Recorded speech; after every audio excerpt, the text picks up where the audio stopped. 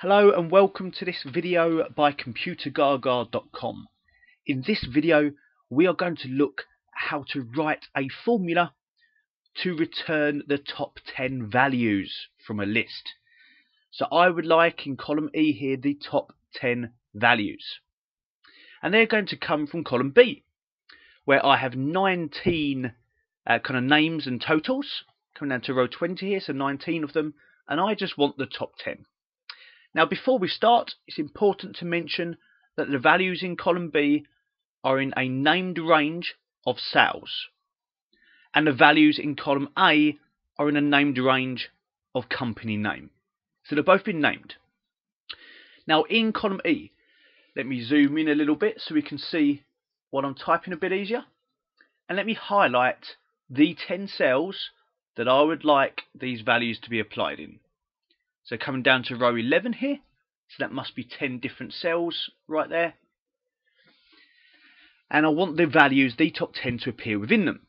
So let me click in the formula bar and we are going to type an array formula. And it's going to be using the large function. So for those of you who may not be familiar with this function, this will return a specific kth value. So either the second largest or the fifth largest, that kind of behavior. Now I want all 10 of them, you know, first, second, third, fourth, largest, etc. So in this large function, I'm going to reference my named range of cells, and then for the kth value, in some curly braces, I'm going to enter all 10.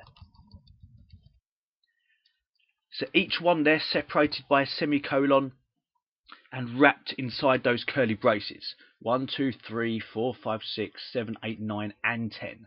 Each of those values I want returned in the cells that I have highlighted. I'll put a close bracket and then I'm going to run it by pressing Control, Shift and Enter. Not just Enter, must be Control, Shift and Enter because this is an array formula. They're sometimes known as CSE formulas because of that Control Shift Enter finish. So let me do that. Control Shift Enter.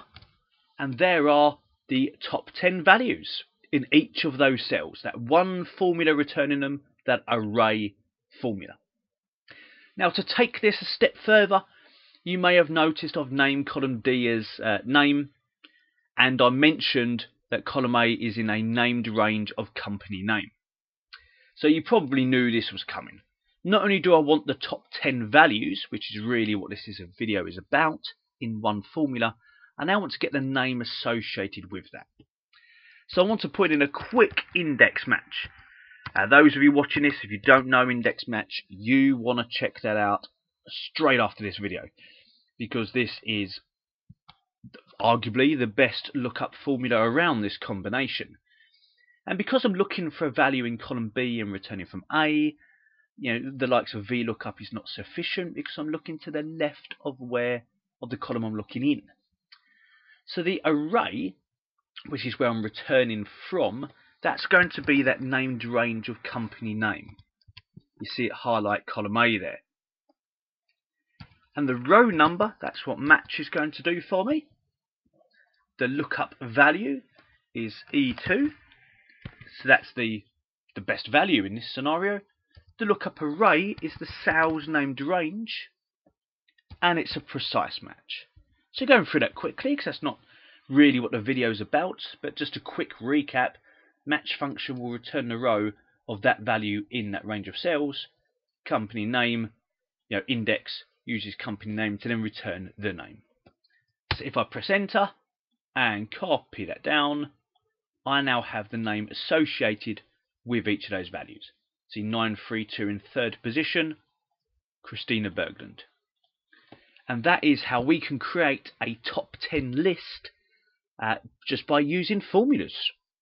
Thank you for watching. Hope you find that video useful.